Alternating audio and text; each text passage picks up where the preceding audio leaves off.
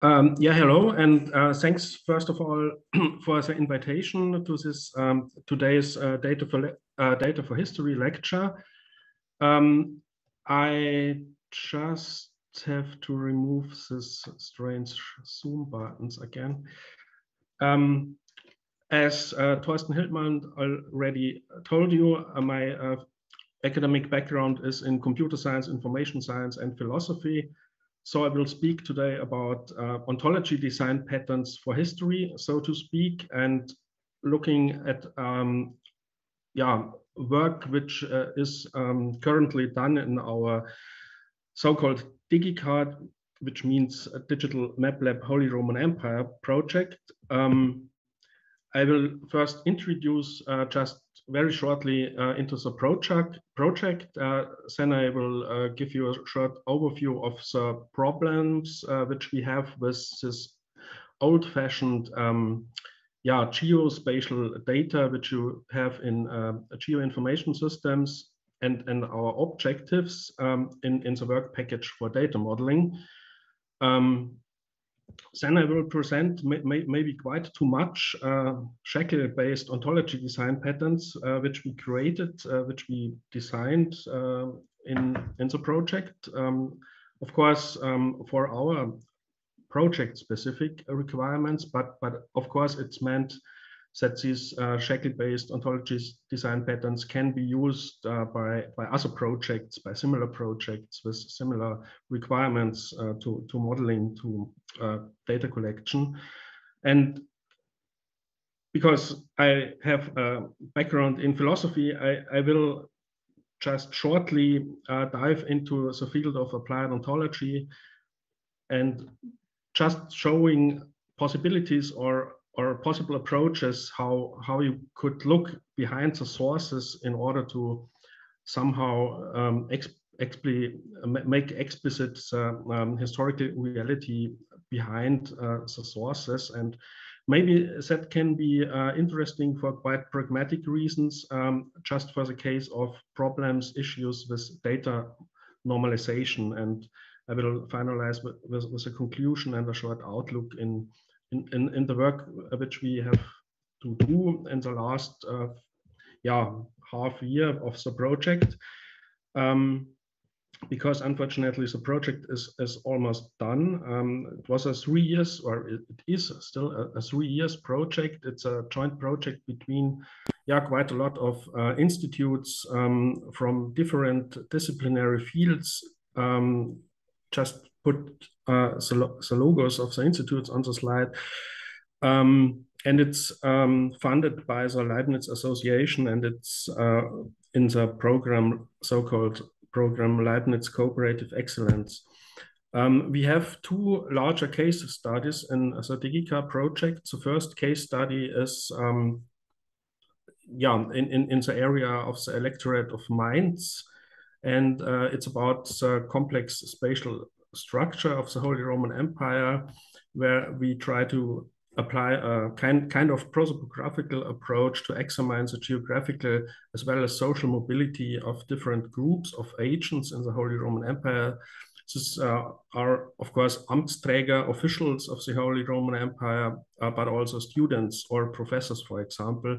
And we have a lot of um, reused data in this project. For example, um, we, we have this uh, catalog of professors from, from the Mainz University, for example, um, just to have uh, one group for this approach. But, but I will not focus on, on that case study in this talk. I will focus mainly or only on, on the case study about electorate of Saxony area, where uh, which is dedicated to the collection and integration of place-based historical information and uh, the case study explores new ways of visualizing the different political, legal, economic, and social spaces. So all these typical complexities of, of uh, in, interrelations in the whole of, of places and actors in the Holy Roman Empire. So I will start, as I said, with a problem statement. Um, I think this article by Kuhn and colleagues is uh, yeah provides a very good overview of the, the typical problems which you have when you try to use uh, this old-fashioned geodata um, and there's a very long list in this article, but uh, these three points I would say are the most most important things. So, so, yeah, the most um, difficult issues you have to uh, uh, tackle with when, when when you use this geodata. Um, so first point is the semantics of terms remains implicit or hard to share and reason with. The second point is uh, global unique identifiers are hard to obtain and not encouraged uh, uh, there are no identifiers. So this is uh, typical not a linked data approach and it's not really easy to reuse um, and integrate data, um, which is the third point here. And I just um, um dive into my uh, philosophical background uh, because there's an interesting article uh, with the title Prolegomeno for an Ontology of Place. Um, and here's exactly the point um, which I highlighted. Place is rarely, just quoted, uh, place is rare, rarely given an explicit representation in this model either as domain-specific tessellation, e.g. electoral districts, census tracts, and counties, or as toponyms linked to footprints as in gazetteers. And the state of affairs is problematic as it misses the potential of place as a connector between heterogeneous data spaces. And, and it um, provides further um, uh, yeah, issues um, or points which you should uh, try to um, deal with if you create a new ontology of place. So one problem is, of course, especially if you um, apply CIDOC CRM, this very large ontology, there's a risk of over-engineering. Uh, and of course, there's a risk of over-engineering if you have a uh, philosophical background, because you always can um, do conceptual analysis, uh, ontological analysis, and never start uh, collecting data. So that would be a problem, of course. Uh, you have to be so somehow pragmatic and as you soon will see, I think we we we, we have been quite uh, we have done quite uh, pragmatic uh, modeling decisions and in orienting our data model on the yeah quite pragmatic um, simple structured uh, linked places format uh, which is used for the world historical gazetteer for example. So we but in the pro project uh, we started indeed with conceptual modeling and we discussed very often about the question what, what is place, or especially the question, of course, what is place in the early modern period and place in the Holy Roman Empire. And uh, very project specific was the question what are the space constituting attributes of a place in the early modern Holy Roman Empire? So this would be, for example, um, place-based informa information about um, uh, places of, of execution or uh, uh, show, show of force and so on. And um, or, or, or, for example, um, border stones, maybe, for, for example, also. And um, but then, if you immediately would start to uh, use CIDOC CRM as an ontology, you have this problem that the class which is um, which should probably be meant for modeling places, E53 place. Um, it's in the documentation of CIDOC CRM that this uh, class is used to describe, um, strictly speaking, just the physical location of things or phenomena or other areas of interest. And so we, we created, we started from, from an um, own class uh, in a, at the moment, very small ontology, which uh, mainly has only this anchor point class to model places or to model ALS's place-based information. DMLO place, DMLO is a prefix for digital map lab ontology. And we we follow others uh, in using uh, the E92 space-time volume to model places and but we combine it uh, with a CRM uh, the class to model uh, legal bodies, and that's exact, exactly the way uh, Götz and colleague st uh, started uh, to model a CRM-based um, yeah, event gazetteer. For example, here you can see um, the data model developed by Götz and colleagues based on the same CIDOC CRM classes E92 space-time volume, which you can see, see here in, in the middle, or yeah, more or less it's at the root of this. Yeah, um, I would also uh, call it a design pattern. Um, and and um, yeah, and uh, added this with the class E40 legal body. And um, so the reason for that is that we um, would be able to uh, have a very broad definition or a very broad concept of place, so that we we are able not only to um, uh, represent settlements like uh, towns and villages, for example, but also um, ad administrative administrative units and uh, or whole territories, or may even the whole uh, Holy Roman Empire, maybe, for example, as, as, as kind of place in the widest uh, sense uh, of the concept. And legal body, of course, because it, it's a kind of actor. Um, an ad administrative unit or, or a territory. Um, um, yeah, just just a short look in in our research data lifecycle. Um, um, I always find it um, uh, good good for ins systematic inspiration to have a look in this yeah book uh, from 2006, uh, past, present, and future of historical information science, where uh, this uh, concept of the historical information cycle life historical information life cycle uh, was presented. And so um, at the beginning, you have this creation phase where, where you start to collect new data, or if it's about uh, creating a data model, you have to start with some ontology engineering. And then, and, and, and then uh, the cycle starts, uh, the next phase, enrichment, uh, then editing phase. And all these phases can involve ontologies, but must not involve ontologies.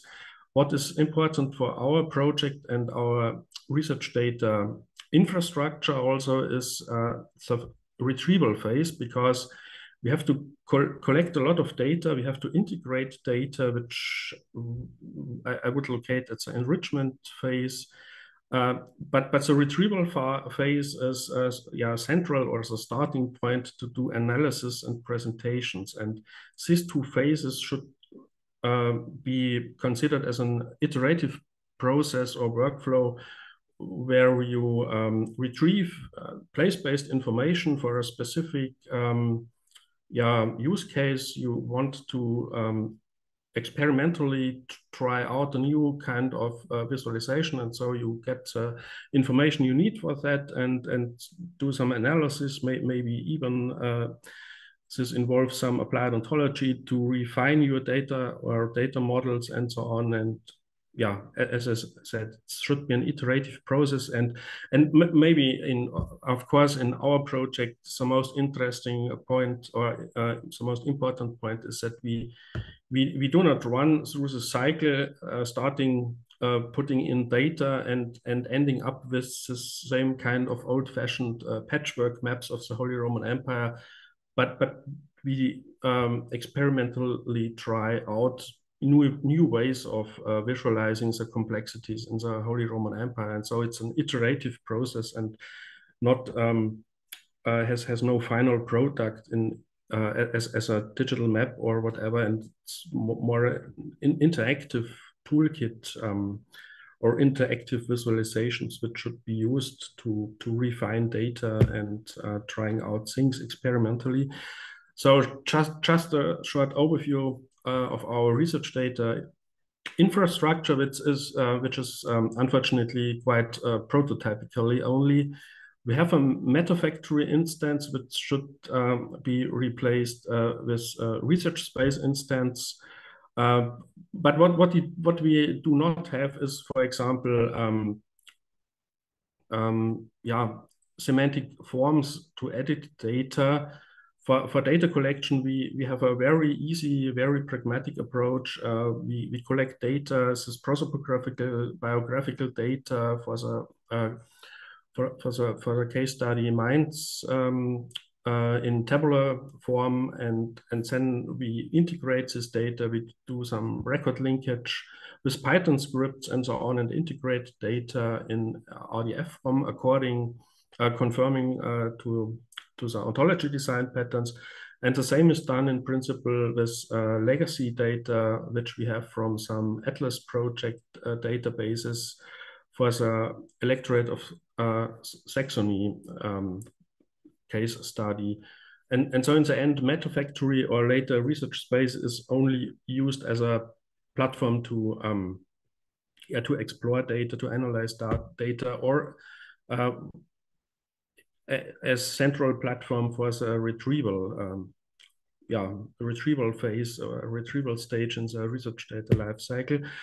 And so, for example, we have also this, uh, are quite old linked open data for web feature service adapter, but it still works very good. And uh, the main feature of this adapter is to uh, write or to define SPARQL queries to get out uh, place-based information from, from the triple store, from the GraphDB triple store, and uh, deliver it uh, via web feature service um, or, or web feature service says, because every SPARQL, uh, behind every web feature service, there's a SPARQL query.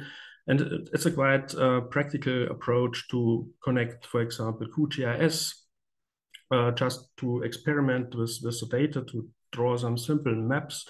Or for example, uh, at the moment we are experimenting with Voronoi dia diagrams uh, to reconstruct, so to speak, um, the spatial extent of parishes or um, manorial affiliations, uh, yeah, Grundherrschaften in German, I never know the, the correct uh, English word for that. Um, or who, uh, um, yeah, administrative areas, for example, and it can be interesting to compare it with historical maps. Um, but it's uh, still an experiment, and that's also the reason why I will not show you, unfortunately, not a picture of this uh, experiments, not yet. Um, yeah, and of course, the other case is uh, to connect some uh, web mapping applications um, on a web server or also in a web browser, perhaps for some interactive uh, visualization tools. And and and this uh, we at the moment we we are um, uh, finally, uh, of course, uh, integrating, collecting our data, filling gaps in our data, but we are also writing tutorials and best practices for data modeling, but also for tutorials how to build up an um, environment like this because it, it's not very difficult, for example, to use this, to connect this linked open data web feature service adapter to a triple store and so on. Yeah, uh, finally, um, the main part uh, of the talk, um, SHACL-based ontology design patterns for place-based information. Um, the problem is when you start uh, building an ontology uh, aligned or based on yeah, top level ontology or a core ontology like CIDOC CRM, it's quite difficult to, to pick, pick out the, yeah, the necessary, the, the, the right, um, the relevant classes and properties.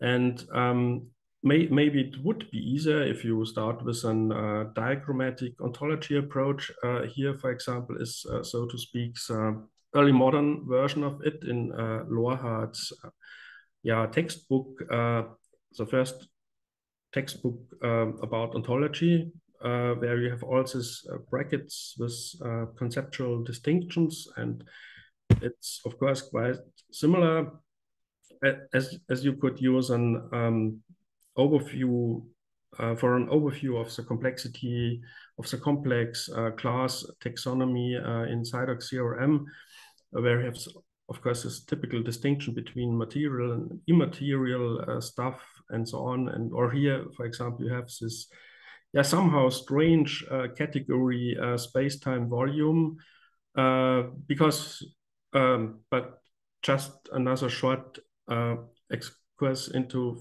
philosophy or philosophical ontology from a philosophical point of view is this concept uh, is quite problematic because it mixes two um, different uh, philosophies or philosophical theories about uh, space and uh, yeah, space time, space and time. Um, and, and here you have this category place in the CIDOC CRM ontology, and, and here are also immaterial objects which are interesting, for example, to model also sources, historical sources, for example, uh, as kind of uh, propositional object or uh, information object and so on. Um, yeah, all these, all these different um, subclasses of conceptual object. Um, and of course, activity or events, the more general class where, where you can start all this event-based um, modeling, which is typical for CRM yeah, as I said already, uh, we we started to develop our own, but but own just very small ontology, digital map lab ontology with this class place as anchor point, so to speak, for for all the place-based information. Um, uh, we have a, a, simplified representation of uh, centroid point coordinates uh, where we just use uh, GeoSPARQL properties and not uh, the complex way uh, which you would have to do if, if you use some uh, CIDOC CRM classes. Um, yeah, and in the end, it's I, I think I already told you. In the end, it's a quite pragmatic approach approach similar to the linked places format, uh, which is used um, was developed by Karl Grossner and colleagues for the World Historical Gazetteer and and it's also similar like this uh, play Pleiades data model with its con uh, concept of place, which is also a broad concept of place, and it's definitely not this concept of place which you have uh, with the CIDOC uh, CRM class E53 uh, place, which is the location, the physical location of things. Yeah, and uh, inspired by linked places uh, format design, despite the fact uh, that it's quite easy, but of course it uses all this uh, CIDOC CRM um, stuff and relevant extensions like uh, CRM Geo, CRM Sci for, for, for measurements, for example. You can use this for pre-statistical uh, census data, for example, which we also get out of uh, one of our legacy databases uh, CIDOC PC, which provides a strange way uh, from a, a, representation language point of view, a complex way to, to model um, roles of actors in events, for example. FRBRoo uh, to model historical sources, um, not, because we want not just to refer to sources or, or just enter bibliographic citation in free text form, but we, we try to, to model the sources too. Um, and, and the data sets, of course, we reuse in our yeah, whole workflow. And, then, and last but not least, uh, we try to use SDHSS um, uh, for, for, for social ob objects, for example, for, for, for uh, affiliations and right ownerships and so on. But we will see that soon in as a ontology design pattern uh, diagrams and ex data examples. Um, yeah, that's the whole uh, diagram. Maybe I could try to zoom in, but uh, I, I, I think that wouldn't work. Um, very good. I just want to um, uh, point at this um, class or node shape in SHACL, which is uh, the node shape for time spans, which can be used in our data for relative dating, for example, and we also added some elements from the provenance ontology. For example, for some reasons, we, we um, derive time spans from time spans which uh, uh, contains data or date information from the sources. Uh, for, for example, if date information is normalized to, to the granularity of years or whatever for information retrieval purposes or visualization purposes. Um, yeah, ju just to mention that, and and and um, here somewhere we also use uh, provenance ontology association or a qualitative relation elements uh, to do some kind of um, yeah referencing to uh, um, source material and to give also page numbers or folio numbers if, if there are manuscripts.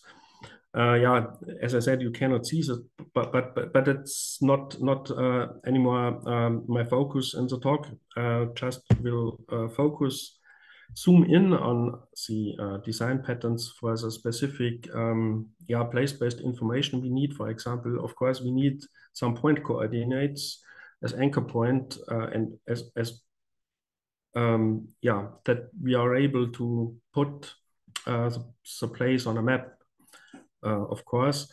And here's this node shape defined in the SHACL, the shapes constraints uh, constraint language uh, for a centroid shape, and it's just using GeoSPARQL element as well-known text. Um, yeah, and you have just to provide some point coordinates for, for that. And uh, here's what I mentioned just before in the very in, in the two large diagrams, this provenance ontology um, elements or properties use qualified de de derivation, for example, is used if it um, if the point coordinates are um, derived from from existing data or uh, from, from a legacy database, for example. And we, we so, so we have kind of distinction between, okay, is, is the data, uh, is, a, is, is the information from reused data or is the information from a primary source, so from a historical source? Um, yeah, okay, uh, we, we can discuss that, um, but at the moment, that's our way to distinguish uh, data provenance for practical reasoning, uh, not reasoning, for practical reasons. Um, yeah, um, the next pattern is very important, of course, because it um, enables to model historical place names. And it's, uh, yeah, quite straightforward, just using uh, class from from FRBRoo, by the way, the name use activity class, which is uh, constrained here by this uh, name use shape um, node shape in in SHACL, and um, yeah, it's connected with an um, M appellation class, which you just use uh, for uh, yeah storing the name in uh, probably in different languages um, you, you in principle you can you can use your own uh, vocabulary um, with with, uh, with concepts uh, defining uh, languages. Here, here we link uh, we, we follow our linked data approach and uh, use this um, LV ontology, this lexical ontology, where you have also um, antique and uh, languages um, from um, yeah um, early modern German and whatnot, for example. Um, and as it says what um, this was one of the first patterns uh, we uh, created, and so we we did some first experiment uh, experiments just uh, using uh, this tabular for, format linked places TSV uh, where it's possible to collect uh, gazetteer information which uh, should be ingested into the world historical gazetteer. And we, as a historical source, we use this Topographia Germaniae, it's a volume uh, where you can find uh, places in, in uh, the electorate of um, Mainz, for example. And here, for example, you have all these Latin names, but uh, also, for example, the German or French name for Mainz. And finally, it looks like that in RDF turtle syntax. Um, yeah, um, which uses uh, the SHACL-based uh, constraints to model or represent this place name information. And um, it's here it's an, an older version an older version of the pattern was used here. Here at the beginning, uh, we just used uh, this is documented in property uh, from CIDOC CRM to refer to the source, but it's not possible. Uh, for example, in in um, this uh, set um, property to to um, provide information about a specific uh, location in in the document. So, and, and, that's the reason why we now uses provenance ontology uh, qualitative uh, relation patterns for that. As the next pattern is to model place types. Um, it's also very straightforward, and it um, has here this place type assignment shape with uh, CRM class in, in the background and the place type restriction. Uh, in the other patterns, there are also such kind of uh, type restrictions, and this is just an um, SHACL node shape to constrain uh, the um, yeah the range for this property here. In in that case, it's p42 assigned. Uh, so you are, are only allowed to use place concepts from our project-specific uh, vocabulary, so project-specific place typology, uh, which has here this URI DigiKAR uh, vocabulary place. So, but uh, it would be possible, for example, again using um, Topographia Germaniae for a source, not only for place names, but also for uh, place types. For example, you have Mainz. You have different here already in the first sentence, uh, different meanings of Mainz. So Mainz is mentioned as a Hauptstadt, a capital, a capital of ja, the hochlöblichsten Erzbistum uh, and the Hauptstadt of the Kurfürstentum Mainz, so the, the capital of the electorate of Mainz. And you could all, um, instead of using our, at the moment, still very simple uh, place typology, you could also use the HisType uh, geotypes uh, vocabulary, which was now designed, I think, already a few years ago. And um, it, it has, um, first of all, it, it has an interesting um, distinction of place types at the basic level. It, um, for example, there's a concept of conceptual place. And in that part of the taxonomy, you have all these uh, play, place types for uh, these different kinds of administrative uh, place types. For example, um, yeah, I have now here the German version, obviously uh, par parishes or um, dioceses, for example, bistum, and so and so on. But but you have uh, so that's uh, ecclesi um, yeah, the ecclesiastical administrative areas, but you have also things like um, yeah, uh, political administrative units and so on. Um, but what, what you cannot see here in this screenshot, uh, there's an, an, another interesting um, distinction on the first level of the taxonomy.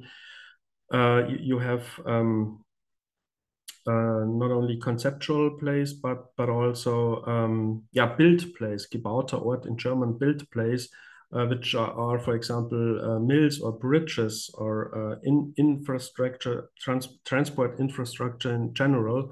So without um, political or, or ecclesiastical or legal aspects. So th that could be a way to, to use multiple types to, to classify, to describe an, a place. And uh, for example, at this uh, Histacomp workshop in Münster in September this year, uh, dynamic uh, typologies or functional typologies uh, for towns, for the um, as they are used in this historical town atlas project, uh, for example, were discussed. And for example, yeah, Hauptstadt, capital would be kind of functional place type. Um, so, so to speak, from an Aristotelian point of view, first of all, you would uh, classify a place as a city or as a town, but uh, Hauptstadt is, is only a kind of functional type, and that could be um, typed as functional type if you use a uh, functional type uh, typology, for example, uh, to classify your places in, in, in, in your data. Um, yeah, maybe I should skip that, um, but um, I, I always like this example uh, um, uh, when Pufendorf uh, describes the whole, the whole Roman Empire, um, of course, as, as, as like a monster. And uh, but in, in context of uh, ontology uh, design or data modeling, and especially in, in the context of such a place type design pattern, it it's easily it can be easily understood what what is meant with this uh, um, proposition because um, yeah I, I, I, think it's it's faster if I just quote um, this nice introduction to the Holy Roman Empire from Whaley um, what he meant by that was simply that the empire could not straightforwardly be classified as a monarchy, an aristocracy, or a democracy, the categories of governments that Aristotle had defined. So if we have no concept uh, to correctly classify the Holy Roman Empire as a whole, uh, of course it must uh, appear like, like a monster, so to speak. Um, now we are at as a most important um, design pattern for our project as a design pattern for political, legal, ecclesiastical affiliations and right holdings in general.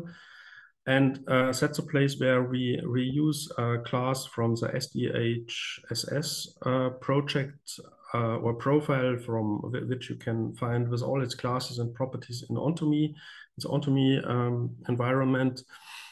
Um, in, in the end, it's also just kind of n-ary relation pattern or qualitative uh, relation pattern um, where we use two um, concept schemes. Um, one concept scheme is, of course, the most important one to define the right type. Here, here you have this node shape, node shape right type restriction, um, where you define, for, uh, for example, if it's a uh, political uh, affiliation, for example, that would be used uh, to uh, relate a place to its administrative unit in in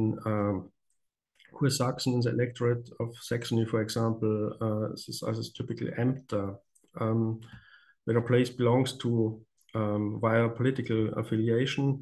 Legal affiliation would be a higher core and uh, um, Hochgerichtsbarkeit and Niedergerichtsbarkeit. I only have German words available for now. Um, and um, yeah, ecclesiastical affiliation would be used to to uh, model kind of church organization structure. Um, and what is uh, very interesting for our project are these uh, manorial affiliations. Um, in German is grundherrschaftliche Zugehörigkeiten, uh, affiliation, manorial affiliations. And yeah, that was uh, my idea just to reuse this uh, class from SDHSS because it seems to be quite uh, usable for, for that. Um, yeah, and of course, um, we have some information from, from the micro level, for, for, from the level of micro data, and that's the reason why we uh, why here we use an uh, this right holder association shape because from some data sources we have uh, some quantitative information uh, from from the micro level, so to speak. Uh, for ex for example, there is also shared um, there are also shared right holdings and there are also disputed right holdings. Uh, but then um, it's often the case that, that you have shared right holdings and uh, that refers to the micro level. For example, one actor, uh, one um, manorial landlord has may maybe 10 uh, estates um, and another one has only five and the third one have only three and so you have kind of ordering. And we, we just wanted to not get lost. Uh, we, we didn't want to lose this information because it could be uh, interesting to use it uh, also in visualizations. And so we have this. It's kind of kind of a hack, of course, um, but uh, that's more the knowledge graphish way to just add this information via another ontology design pattern by, yeah, putting in between um, the actor and uh, the, the is right of property this association class where you can put in uh, additional information from the micro level, as I said, uh, which is here called a has an index, but but it can also represent uh, explicit numbers of uh, estates uh, where a, yeah, a right holder has his uh, rights on. um, may, maybe we can skip that because I think I already told you about um, set um, modeling decisions. Okay, uh, SDHSS is a semantic data for humanities and social sciences application profile you can find in OntoME. And uh, maybe, maybe that's interesting just to be sure that this class C14 holding of a right obligation could or should be the, the, the right class to reuse from this uh, SDHSS uh, to model right holdings. Yeah, uh, P9 is right off links to one or more right holders, and it's uh, the property is characterized, described as uh, as of following. If more than one actor is associated, this means they exercise their right on the same persistent item collectively and during the same period uh, of time, and that's exactly what we want to model. So I already told you about uh, legacy data, which we reuse. Uh, this is uh, the Historisches Ortsverzeichnis von Sachsen, HOV. Uh, it provides information about the order of the right holders and another legacy database. Uh, so we were allowed to reuse a database dump from the Repertorium Saxonicum, uh, which uh, provides also data place-based data for Saxony, also uh, including, as I already told you, uh, pre-statistical data, for example, uh, of taxes and so on or also population, for example, which could also be interesting for visualizations. Yeah, but um, this database provides information about the amount of estates possessed by each right holder. I already told you about that. Um, yeah, and in, in the first um, draft of the pattern, we just used an RDF list where we lost this information and that therefore we, uh, in the current second draft, we use and we apply an n-ary qualitative relation linked data pattern. By the way, this uh, data incubator um, website, or it's finally um, it, it's a book, um, is quite interesting. Um, okay, here's should be the link to n-ary relation and the second link to qualified relation. Um, some detailed uh, description of the uh, modeling problem and how you can solve uh, this typical modeling problem with this kind of simple linked data patterns. Um, yeah, how how we represent shared dominion, um, which means shared right holdings as well as disputed right holdings. Uh, our solution is, uh, as I told you, to use knowledge organization systems, just vocabulary, um, a yeah, taxonomy of concepts, uh, and it's also quite simple still at the moment. We have only two concepts uh, versus affiliation types. Um, right holding is shared or right holdings are disputed. So these are two possible things which can happen.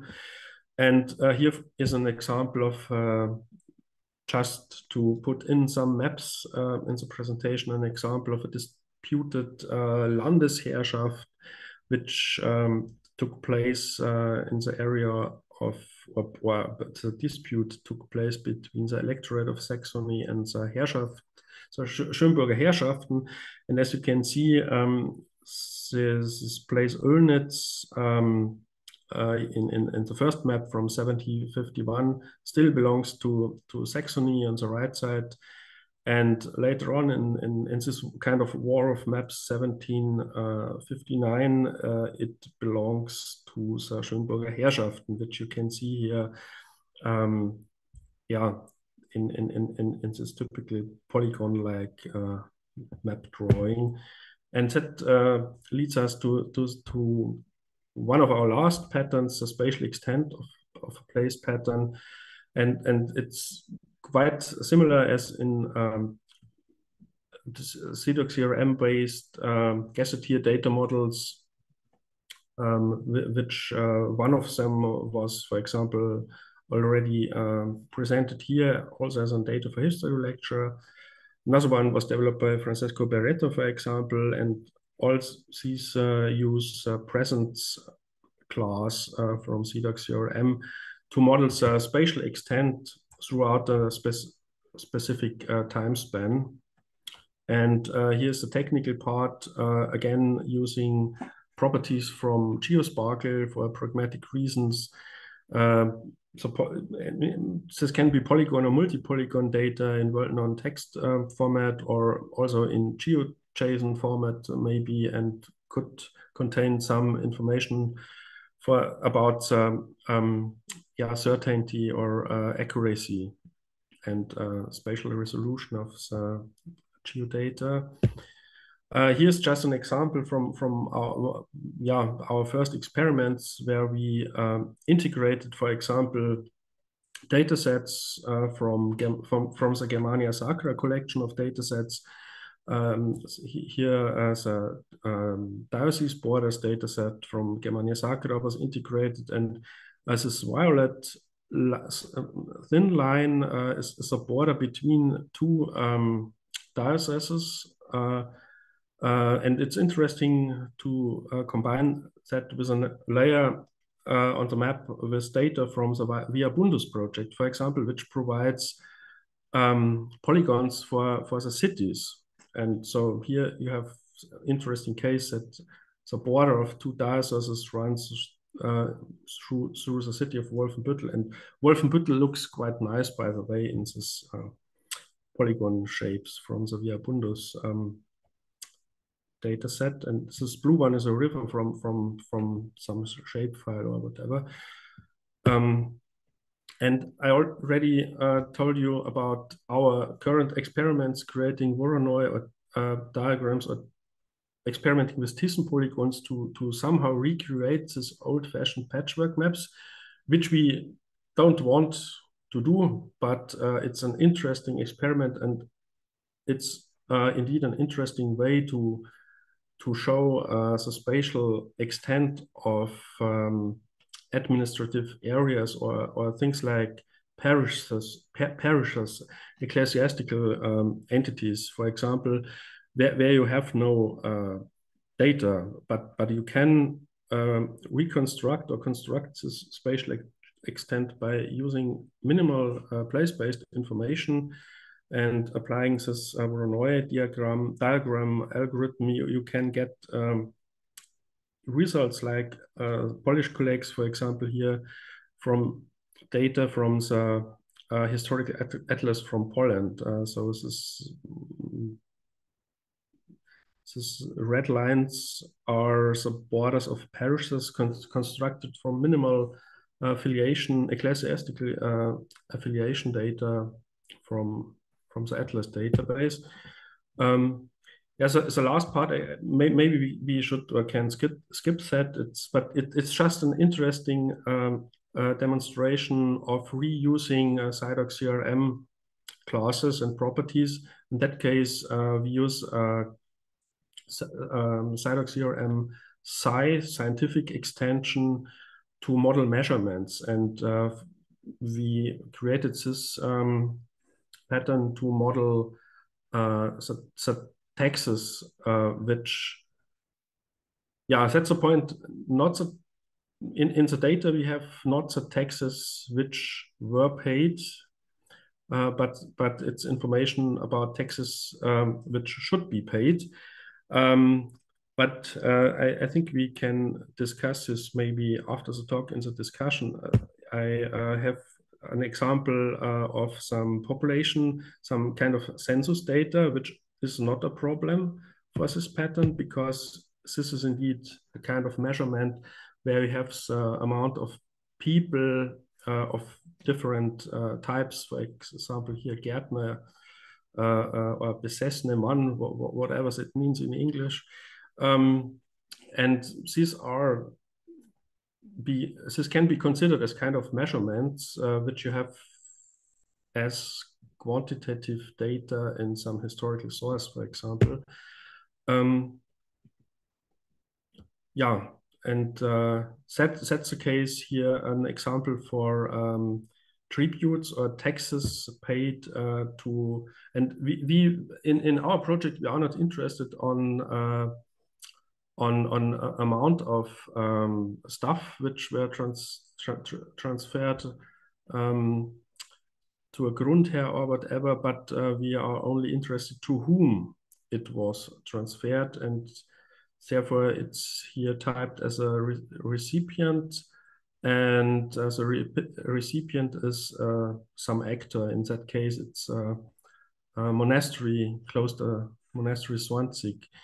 Uh, it's here for demonstration, just uh, minimal uh, data, just just uh, containing the, the RDFS label, Kloster Swanzig, and so on.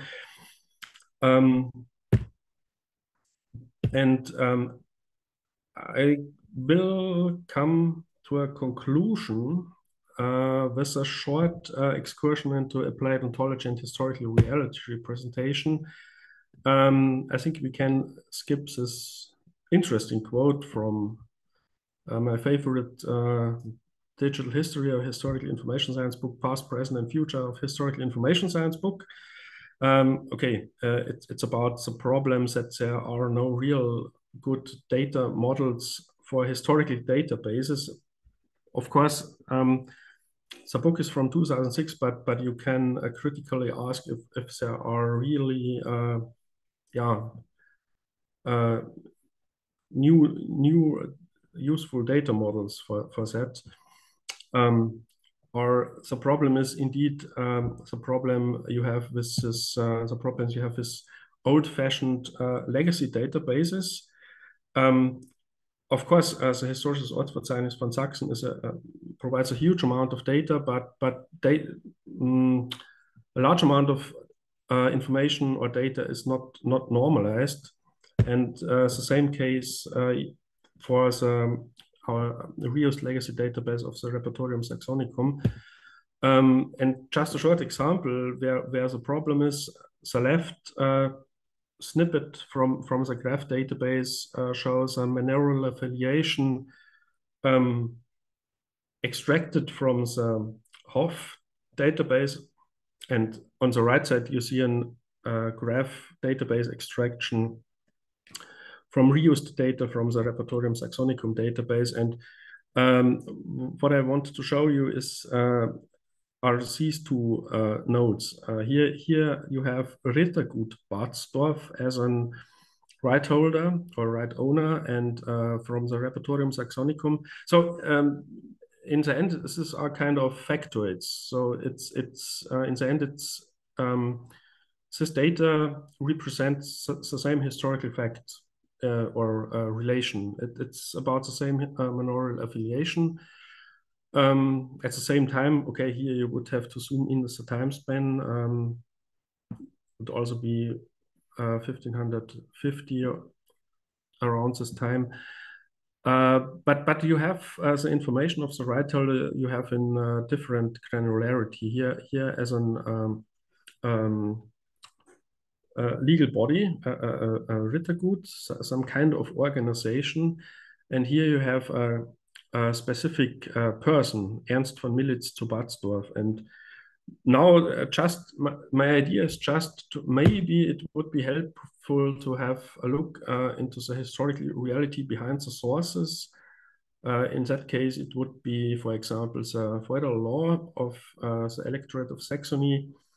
And maybe it would be helpful uh, to use this context for data normalization. And um, of course, this would, would be very difficult, but um, uh, in the end, it would be also interesting to, to, to add some kind of uh, um, more detailed analysis of the documents involved in, in all this yeah, document acts in, in the end. And but that would also be, of course, very, very difficult to, to, to do for a large um, yeah, set of data, uh, because here you would have to apply a, philosoph philosophical theory of document acts, which means in the end that you would have to model what was done with these documents. For example, what was done with uh, feudal or fief charters, feudal reversals, rentals, maps, and account books, and so on. Um, when, when, for example, um, a new right owner establish uh, his uh, dom dominion and so on. And as this German quote uh, just uh, refers to to a whole book about uh, yeah Rittergüter, and uh, it just mentions uh, it it uh, refers to the feudal um, electorate of Saxony, and it says that um, yeah none of that would be correct from from from strictly speaking from this uh, con um, law context, because um, right ownership uh, also always belongs to um, the um, yeah, the family, the, the noble family uh, in, in that case, and, and so here here should uh, be the entry to Batzdorf or or uh, von von Miltitz to Batzdorf. That should be the label uh, describing the, the whole noble family, but but not a uh, not a specific person. So, but but just for an idea, for a possible approach to apply apply some some more, um, yeah, model oriented data normalization in that case, or data processing in general, instead of just processing the sources. So, the source uh, oriented data processing approach. And um, you, you can also find uh, this distinction between source-oriented uh, versus model-oriented data processing in, in, my favorite book, uh, Past, Present, and Future of Historical Information Science. Um, I think we will skip that because I told you already that we uh, will only focus on uh, place-based data or information for Saxony. And our biographical data is uh, collected in the second case study, but of course it's interesting, or it could be interesting, uh, if you connect uh, this um, data, this uh, data about all the biographical um, activities, about all the life events of historical actors uh, with the place information. Of course, that's a little bit problematic because the one case study focuses on um, places and also actors in uh, the electorate of Mainz, and the other one uh, on places in the electorate of Saxony. But but this, despite that, in principle, it's interesting to to combine, of course, uh, this uh, biographical information with place-based information. Um, that's just another form of this um, activity uh, and role of an actor pattern, um, which is mainly meant to do information integration and information retrieval. And as I told you in the beginning, we also use this CIDOC CRM PC extension, and this extension is in action here in this pattern and, and also in our pattern and in the version of, of that pattern. Uh, provided um, such a proposed by, by Hart, Brelot, and Michon. Um, yeah, and it's quite a little bit complex, but uh, you can. Uh, our goal was to to model uh, biographical data uh, in a in a very general form to to follow this prosopographic factoid approach, and that's possible with with with that um, kind of modeling of of roles of persons. so in in the end, and now I'm talking uh, uh, about biographical data a little bit uh, in the end. we use typology um, concept scheme to um, specify the activity type um, and we use a concept scheme with concepts to specify the roles and this all this um, uh, yeah, roles, um, officials or students uh, or um, professors ca can have in, in the Holy Roman Empire, at, at least uh, the, activity types and roles which you can find in our sources, of course.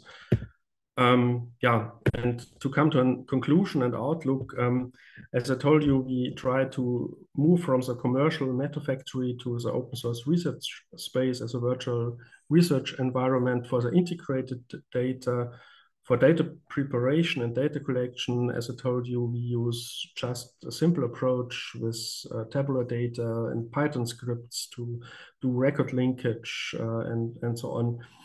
Uh, but for the integrated data, which in the long run, run should be uh, used for visualization uh, and of course also analysis and maybe even reasoning, which would be of course interesting in a semantic web technology framework. Um, and uh, what we are also thinking about, but that would be a future project, of course, is to develop uh, yeah, kind of visual modeling language for concept conceptual modeling suitable for historians. Uh, and that could be something like, or of course, you could uh, only use OntoUML for that, for example, where, where you have um, um, uh, uh, yeah, um, conceptual modeling language to do really complex modeling. Uh, here, for example, is a diagram showing the, all the different roles in the Catholic clergy, and and on the right bottom side, you you have an um, yeah diagram of of the institution of electing a, a new pope, how, how this works, who which kind of actors are uh, involved in which role and so on, and um, how it ends up with a new pope and so on.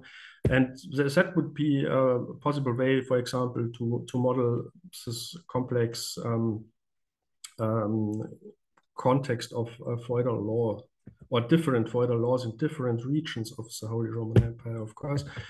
Um, yeah, and in the end, uh, we would also like to have some kind of semantic components for analysis and visualization in this uh, research uh, space environment.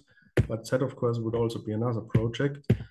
And um, just some inspiration, some analog inspiration from this old uh, historic atlas projects. Here, for example, you have a diagram, uh, map-based diagram from the historical atlas of Bavaria, where uh, castles are shown, which were uh, um, which uh, citizens of Regensburg bought and uh, in, in order to prevent Bavarians to um, interfere into, into trade routes. and as you may see in the map, some castles were bought and immediately destroyed. So that there are no more problems from from from that point, from that location. Uh, but uh, of course, it would be just an interesting case, um, an interesting use case for an interactive visualization because it would be interesting, for example, if you would be able to add some information about trade routes indeed, and, and that's a complicated case case of trade routes because these are safe conduct safe conduct um, ways uh, in the early Roman uh, in the early modern Holy Roman Empire, where you have um, yeah kind of shared or even disputed rights uh, of uh, safe conduct. Uh, no, we have no time to look into the details, but but that's one uh, pattern we would like to add uh, in, in in the next few months to be able to to to model a small selection of this kind of strange early modern Holy Roman Empire like uh, self-conduct uh, routes. And yeah, as I said, it would be interesting to, to, to just add another layer with that kind of information um, to information like that one from, from the historical atlas from Bayern. Of course, this is uh, two different regions and wouldn't be interesting or uh, compatible to combine, but yeah, uh, you need, of course, the right sources and uh, be able to extract the right data from it. And I, finally, I conclude with this um, nice quote from Lünen from, from his article, Tracking in a New Territory, Reimaging GIS for History, Rather than a visualization tool, GIS should be used as a painting tool, a tool to creatively engage with one's sources. And, and, and then during my talk, I tried to argue that, argue that you have to do source-oriented modeling, but also model-oriented modeling or, or, data processing. So that is, um, you really need some kind of historical reality representation, so to speak, to be able to integrate all all this um, information from from uh, different sources or, or maybe even from different regions with all their specialities. Uh, for example, Bavaria is uh, not the same thing as uh, electorate of Saxony in early modern times and so on. So uh, yeah, finally, thank you